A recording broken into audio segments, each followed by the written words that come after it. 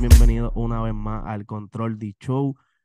Antes de empezar este podcast, los invito a que se suscriban, a que le den like, a que se suscriban y compártanlo por ahí para abajo porque hoy esta entrevista va a estar súper brutal. Quiero que le den la bienvenida a Isaac. ¿Qué está pasando, brothercito? Todo bien, todo súper bien activo, ya tú sabes, en la casota, Ya dándole. Mira, bro, en verdad yo creo que, yo pienso, voy a empezar así de esta manera, yo creo que sería una falta de respeto preguntar quién es Isaac, papi, porque el que no sabe quién es Isaac a esta altura no está en nada, porque, papi, yo te he visto trabajando, yo creo que la primera vez que yo consumí música tuya fue la canción con Coscu, la que, con, este, que va a ser de mí, hace par de sí, o sea, esa- eso sí, van el leñido chévere. So, esa fue la primera vez que yo consumí, ¿verdad? Tu música y en verdad como que me, me, me quiqueó ese flow como que tú cantando ahí bien melódico y Coscu como que rapeando, en verdad esa vuelta me gustó. Pero antes de ir allí, yo quiero saber de dónde viene Isaac, cuándo, cómo Isaac se, se motiva a tirar música, cuándo, cómo fueron esos primeros pasos. Después, todo empezó en la iglesia, como casi todo, todo chamaquito empiezan. Eh, me gustaba cantar mucho como que en los coritos de la iglesia, ir a talent show, después echar competencias por ahí para abajo, hasta que lo fui cogiendo más, más serio. Después en una, una agrupación de cinco chamaquitos. Después de ahí nos separamos. Ya como para el 2012, por ahí, como que me puse para la vuelta de solista. Duro. Y por ahí, hasta que encontré mi esquina, me tomó todos esos años, ¿me entiendes? Y pues gracias a Dios ahora mismo, pues, estamos, estamos ahí. Ahora sí, brother. Este, te preguntaba, Tú tienes, tú tienes, tú tienes una línea como que muy diferente, ¿verdad? Para lo que es el género urbano. ¿Por qué decides meterte al género urbano, ¿verdad? Teniendo una línea, o tú vienes, cuando tú estabas en el grupito que tú me dijiste, era como que flow baladita y toda esa vuelta, o también era como que la línea que estás tirando ahora. Eh, era un poquito urbano, pero era medio pop. Pero siempre, siempre me ha gustado, papi, que somos boricuas, tú sabes, eso está en la sangre. Sí, obligado. Y nada, básicamente como que, como desde chiquito, como que siempre como que me gustó como que lo, sabes, los, los reggaetoncitos, quizás como que lo, lo- el trap no existía, pero escuchaba rap, escuchaba beats, Claro, claro. sabes. Sí, Y sí, como que me, me, cor- me corría, me, ¿cómo? La vena del, del reggaetón o del urbano siempre ha estado ahí, full. Siempre, siempre, siempre, siempre. Duro. Pero que, nada, yo dije, "Acho, voy a intentarlo. Lo empecé a hacer como hace como dos años, tres años. Sí, Y la gente le corrió bien cabrón. Yo no me atrevía, porque yo dije, "Acho, como escucho el bicharro, nunca lo he intentado, siempre he cantado reggaetoncito bonito, comercial, pero siempre está en la vena. Y, yo, "Uy, pero, pero, sí, pero escribía, obviamente, todo ese tipo de música para otros artistas también, ¿me entiendes? claro. Ahí quería, ahí quería ir, ahí quería ir porque, y eh, antes de ir ahí, antes de ir ahí, te pregunto, la primera canción que tú tienes en el género urbano de entrar es la de Cosculluela. Sí, la primera. Duro. Y a en verdad eso me parece brutal porque yo volví a revisitar esa canción en estos días y, by the way, yo no sé por qué salió el tema de ti. Yo estaba en mi casa, estaba hablando con alguien y yo le dije, papi, ¿tú sabes quién es Aiza? Ese cabrón parte bien duro y le enseñé la canción y le dije, yo lo conocí con esta canción y me dijeron, no, papi, no sabía quién era. Y yo, papi, pónganse en serio, el pana la tiene. So, yo O me sea, ese tema y me parece súper brutal que Coscu, cu- o sea, cuando se hace el acercamiento, ¿ustedes le hacen el acercamiento a él o él le hace el acercamiento a ustedes? Pregunto porque como el tema parece... no, estábamos en la misma, estábamos en la misma compañía, Ya, en Lion. Y, y Elías le dice a él, mira, tengo un chamaquito que le mete bien cabrón, este, tienes que escucharlo para que haga algo con él, que si esto. Y me escuchó, este, Coscu me había escuchado desde chamaquito, desde el grupo, claro. pero después me, le dijo a Coscu, mira, cogí el chamaquito este, ¿te acuerdas, coño? Tienes que escuchar lo que está haciendo, pum, pum, pum". Y a Coscu le gustó, de corrido, un día estábamos en el estudio y le metió. Duro.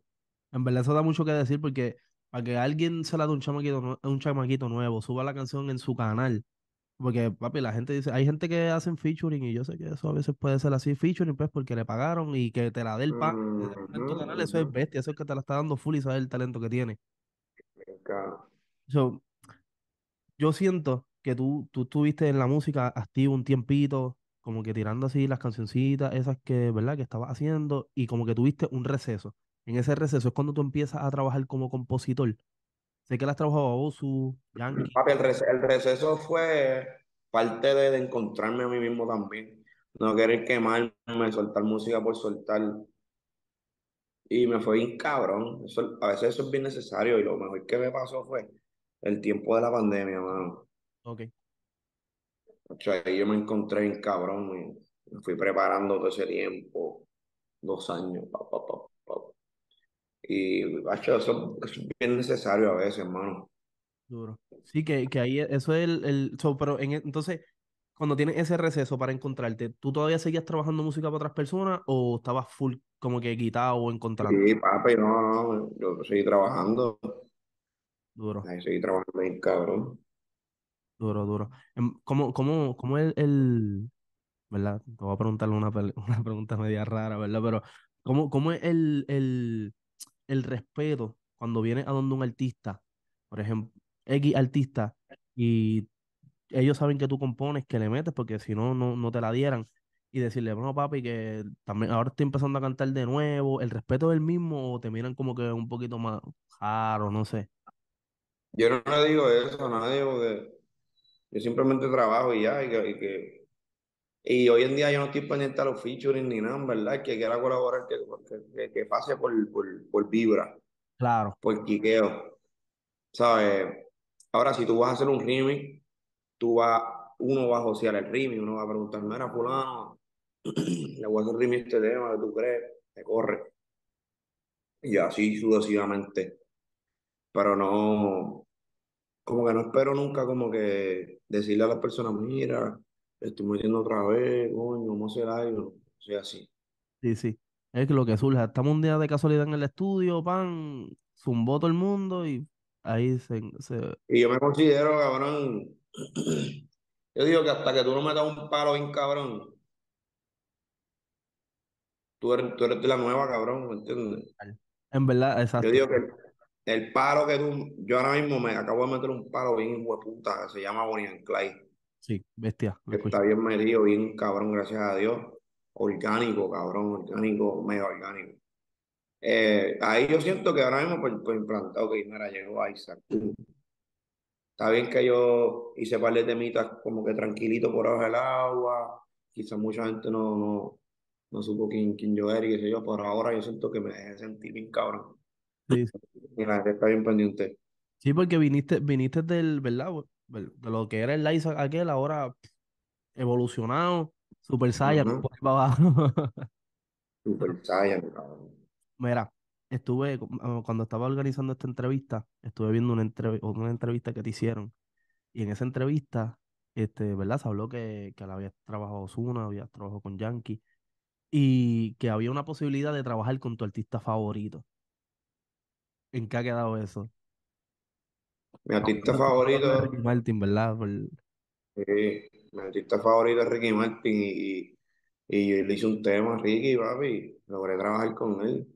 Duro, Y le hice un sencillo bien cabrón. Se llama Ácido Sabor. duro. O sea, pues eso fue para mí una cosa cabrona, mano. Este, ahí fue donde yo en verdad entendí que, que, que la vuelta estaba pasando. Como que, ok, esto, esto está cabrón, vamos bien, ¿entiendes?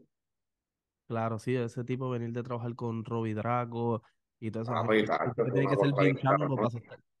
Tiene que ser bien chango para aceptar un tema de alguien, no va a aceptar un tema de cualquiera así, porque Y yo sí. lo creé, yo lo creé con, con, con, con Phantom, con Freddy, ahí sentado, con otros tres, y Ricky al frente, boom, escuchando. Diablo. ¿Y cómo, cómo, cabrón. cómo fue la presión en ese, en el estudio ahí? No, en verdad, papi, ese cabrón es bien a fuego, Sí, súper a fuego. Él te habla como si fuera un chamaquito, cabrón, normal. duro, Bien duro. cabrón. Hacho, bestia, Hacho. Mira, te- este, he visto que en estos últimos, en estos últimos días, bueno, en esta última semana, has estado soltando un par de temas, soltaste Palomino, soltaste Panty, este, soltaste Acepto. ¿Cómo, cómo, acho, te lo juro, las escuché las tres, tengo una favorita, es. Bestia, bestia. Cuéntame un poquito de ese proyectito, brother. Papi, me gusta, me gusta siempre soltar música una hora. que se están enterando que, que me gusta ser multifacético. Eh, me gusta, me, me gustó soltar un EP que tuviera de todo un poco en tres canciones. Viene Marianteo, están los chamaquitos que lo que escuchan en el carro cuando van para el trabajo Marianteo, o cuando están por ahí con una baby o lo que sea. Está Palomino, eh, o cuando tú estás rochado, pues ya tú sabes, Panty. Tienes tres, tienes tres sentimientos ahí en un EP. Tres, tres vibes diferentes, súper cabrones. Eh, y el concepto de, de, los EP, no sé si te diste cuenta, que se llama 1.6. Es porque yo, ese fue mi primer carrito. Ya. El, el sapito, el que ahora lo he así. Pues ese fue mi primer carrito. Ahora sale otro EP el mes que viene, con otro carro que, que tuve, se va a llamar de la misma de la marca del carro que tuve también, de otro que tuve. Ya. Sí, que eso esto, es básicamente, esto es básicamente, ¿verdad? El, ¿verdad? Entendiendo lo que me estás queriendo decir, el concepto de estos EP son experiencias que tal vez tú tuviste dentro de esos carros mientras, ¿me entiendes? Mientras los... es como que es cool, es como vivir etapas viejas, ¿me entiendes? Claro. Este, entonces, te quería preguntar. Bueno, ah, no, no te iba a preguntar, creo que en Acepto que sale como que la parte atrás del, del, del, del sapito, del cajito, así, ¿verdad? Es con, con, con, la tipa con la pierna por fuera y el pante, la vuelta. Duro, duro, duro, duro, duro. Mira, brother. Este, he visto, eh, como que te dije, en verdad, so, ahora vamos a seguir este, viendo un Isaac más activo en las redes sociales, no en las redes, pero en la música, ¿verdad? Porque lleva este año, lleva un año, temas con Lenny Tavares, Jay Wheeler, tu EP, este, música con Farruko de hace como un año, dos años por ahí también. So, te vamos a seguir viendo activo por ahí para abajo, tirando música. Bueno, Gracias, a Dios, EP, Gracias a Dios. Están pasando cosas bien grandes, cosas que obviamente. Los otros días también, te vi en tarima partiendo. So, Está por ahí rompiendo ya. Ahora es full Está pasando, está pasando, como uno dice, está pasando. Duro. Está, está, estamos ahí. Estamos ahí del. Sí, ¿no? Yo tengo un panita que siempre me ha dicho, papi, tú tienes que enfocarte, tirar música si lo que te gusta hacer música. En mi caso, hacer podcast, porque todos estamos a ley de un tema, tú a ley de un podcast. Todo está en trabajarlo. Así mismo es, papi. Y creértelo, cabrón, creerte que eres el más hijo puta. Sí, pa. Esa Yo me creo el más hijo puta. Full, full. Em, papi, es que eso Pero es que... me, creo el más, me creo el más hijo puta no para mí. Es decir, no para, no para, para ellos, ni para creerme el mejor que ellos. ¿Sabes? Me creo hijo puta para, para, para automotivarme a mí. ¿Entiendes? Claro, claro. Y para hacerlo más cabrón yo. Sí, porque es que si, no, si, no si tú no te la crees, yo, yo vengo de allá afuera, yo viví allá afuera, hace, hace poquito me mudé a Puerto Rico, y yo allá afuera yo no me creía, como que papi, mi gente me tiraba, entrevistas, vueltas, y bueno, cuando me, a mí me tiraron para entrevistarte, para mí ha hecho un súper logro porque te sigo desde aquel momento que te mencioné. Y yo como que no me la creía y tengo gente trabajando conmigo ahora y me dijeron, papi, si tú no te la crees, eso no va a funcionar, así que dale, ponte serio, créetela, vívetela como que eres el mejor, que estás partiendo y eres el mejor, y ya, eso es lo más importante. Ese, es el secreto, papi. es el secreto. Para, ir cerrando, un consejo para los chamaquitos, papi. Sé que llevas como ocho, bueno, llevas más de diez años, yo creo que metió en la música, pero en la música urbana como tal llevas como ocho años. Consejo a los chamaquitos nuevos que le puedas dar. Que si le estás dando y llevas un trote, piensa que estás en la única, cabrón. Todos los días coge clases pasa los, trimestres. Eh, cabrón, piensa que estás en la única, cabrón. Sí, sí. Es peor coger clases a módulo y brincar el año a un mes que aprender a un año. ¿Entiendes lo que te digo? Sí, exactamente. Sí, hablando sí. de flow escuela. Sí, sí, Hay que muchos cabrones que, ah, que cogen módulo, dale, para que saquen de esto. Y cabrón, no aprenden lo mismo. No, Entonces, cuando a la hora de verdad, uh, ¿qué pasó aquí? Me estrellé. Papi, hay muchos artistas que no tienen culpa, cabrón, pero brincan como un saltamonte todo el proceso, se pegaron de una. Entonces, discúlpame. Entonces, el siguiente, el siguiente tema. ¿Qué pasó? Ah, ¿Qué vas a hacer después? Esa es la prueba, esa es la prueba prioritaria, cabrón. Esa es la prueba más cabrona que existe, cabrón. ¿Qué vas a hacer después? Qué rico, qué rico tener experiencia, qué rico saber trotar de verdad, cabrón, y decir, Yo, papi, la gente lo que quiere es esto. ¡Zum! Y le zumba lo que quiere. Diablo, este cabrón rompió con el otro. Diablo, mira.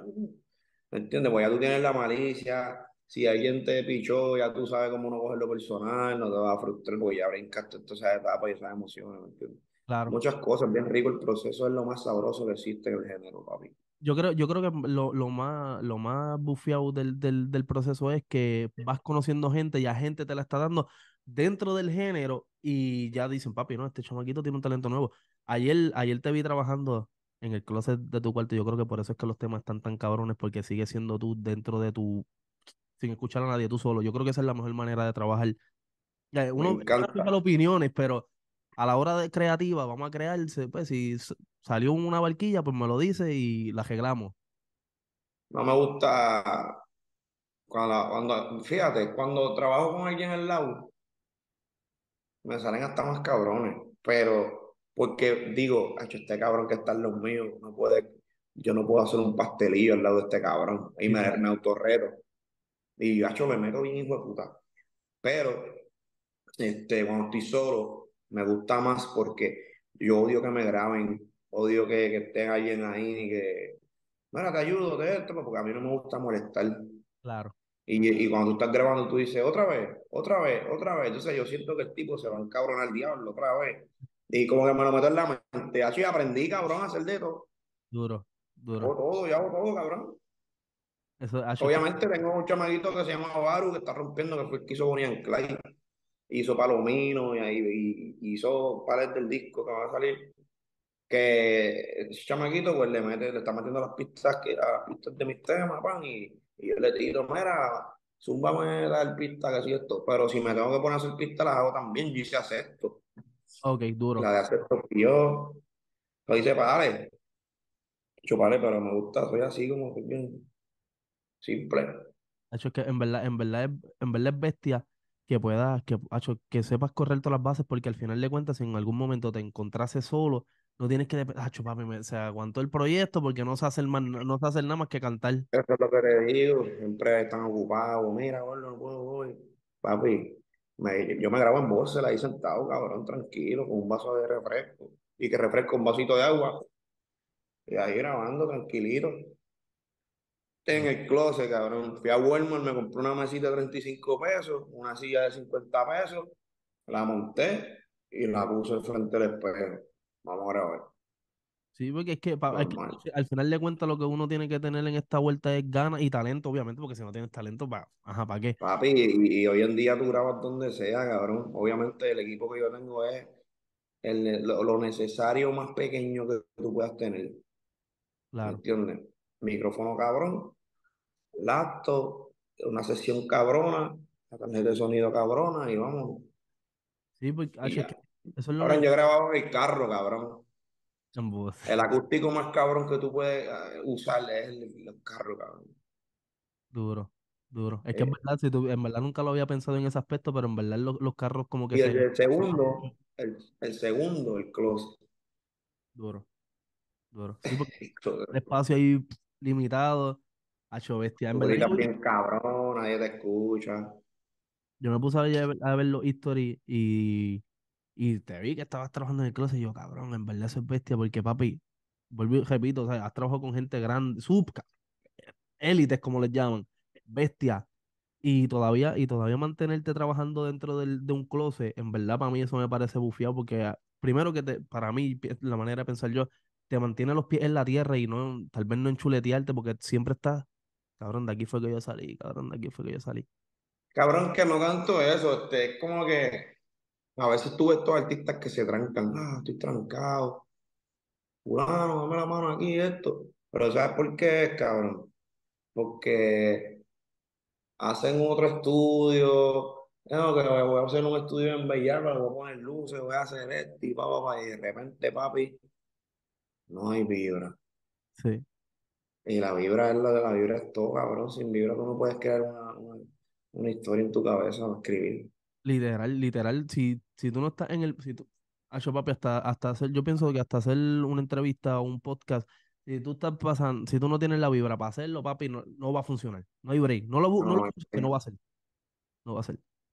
Acho, es- bestia, brother. Voy a ir despidiendo este podcast. En verdad ha sido un súper placer estar hablando contigo, brother. De verdad, mi respeto siempre, en verdad. Gracias, bro. Como que en verdad me siento, me siento full porque en verdad te sigo hace par de años y en verdad quiero, ¿verdad? Seguirte viendo rompiendo, sigue rompiendo.